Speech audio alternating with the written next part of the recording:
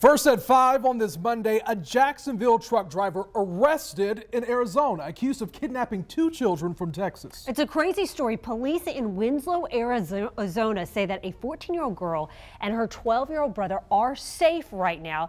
And this man, 47-year-old Marshall Pendergrass, is now in jail. First Coast News has learned he lives in West Jacksonville, and that's where we find On Your Side's Eric Alvarez live tonight with more for us, Eric.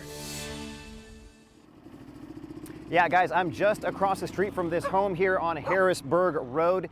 There has been no answer when we approach the fence, and we really can't get much closer than this because of the no trespassing sign and the dogs in the yard.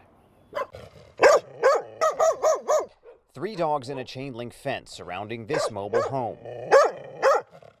Where neighbors say Marshall Pendergrass lives with his wife Michelle.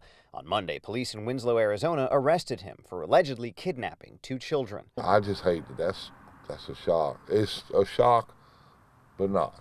Neighbor Eddie Wiseman says the man he knew was outwardly friendly, but there's something about the house with the fence that just didn't seem right. I've been keeping my kid away from him, and I've been having my own father instincts about this situation.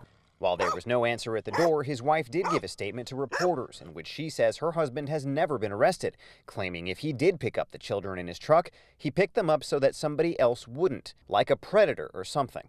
That syncs up with what Wiseman used to think about his neighbor. He helps anybody that needs help. Mm -hmm. He's that kind of person.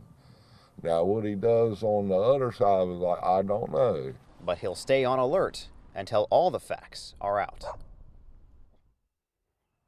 Next on First Coast News at 6, we are checking into, into his history. We will update you with exactly what we found coming up in the next hour. Live on the West Side, Eric Alvarez, First Coast News on your side.